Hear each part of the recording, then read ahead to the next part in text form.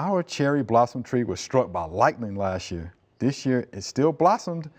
Can a tree struck by lightning stay healthy? This is Terry from Conyers, Georgia.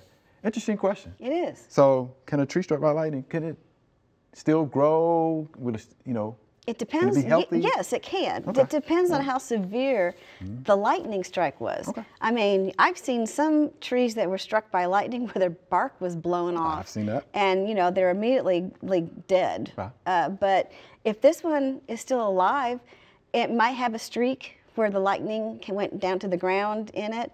And if it did, I would make sure that I kept that sprayed with insecticides Oh, yeah. Because that's going to be a Yeah. Mm-hmm. weak. The tree is weakened, which might be why it blooms so beautifully. Mm.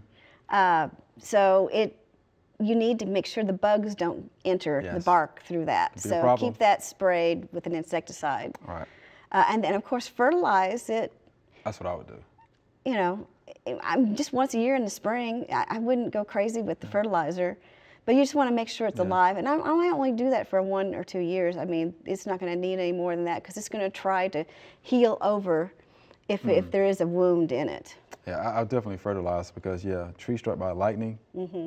stressed. It's going to be stressed severely, right? Yes. Because the nutrients are going to get sapped, Yes. you know, from the lightning strike. So I would get out there as soon as I could with some fertilizer, get it watered in, right? Yes. Mm-hmm. So the roots can take it up and see what happens, right? And you're right about the insect pests and dis- diseases. Diseases You know, it's going to be another issue as well. So yeah, you want to keep your eye on that for sure because that tree is stressed and weakened, Mm-hmm. you know, from that lightning strike. So And bugs are oppor- and, and diseases are opportunistic, and they see us something Mm-hmm. in stress, then they'll go to that. Right, right.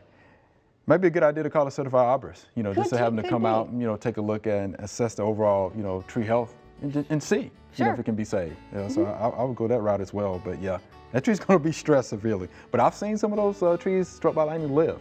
For many I years. I, I sure have. Thanks for watching the video. We hope you enjoyed. To subscribe, click below.